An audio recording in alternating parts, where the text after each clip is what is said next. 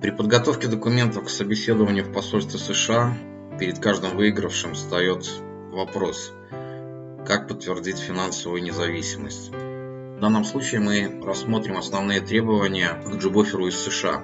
Джобофер оформляется на фирменном бланке организации, а в джобофере должна быть отражена следующая информация.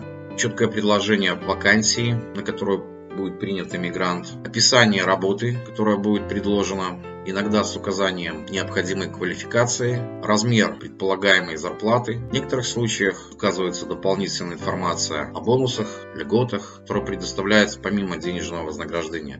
На бланке должны быть указаны место работы, кратко перечислены основные обязанности, продолжительность предложенной работы, сезонная она, временная или постоянная. Также должна быть сделана надпись, подтверждающая возможность начать работу по прилету потенциального работника иммигранта в США. Как показывает практика, джобоферы посольство принимало к рассмотрению и без нотариального заверения, но в любом случае джобофер должен быть оформлен на бланке с реквизитами предприятия, телефонами, e-mailами. Должна быть обязательно подпись руководителя предприятия или другого должностного лица, уполномоченного вести кадровую работу. При наличии печати у организации скреплялась печатью. Еще лучше, если будет стоять нотариальный штамп, удостоверяющий личность того, кто оставил подпись на джобофере.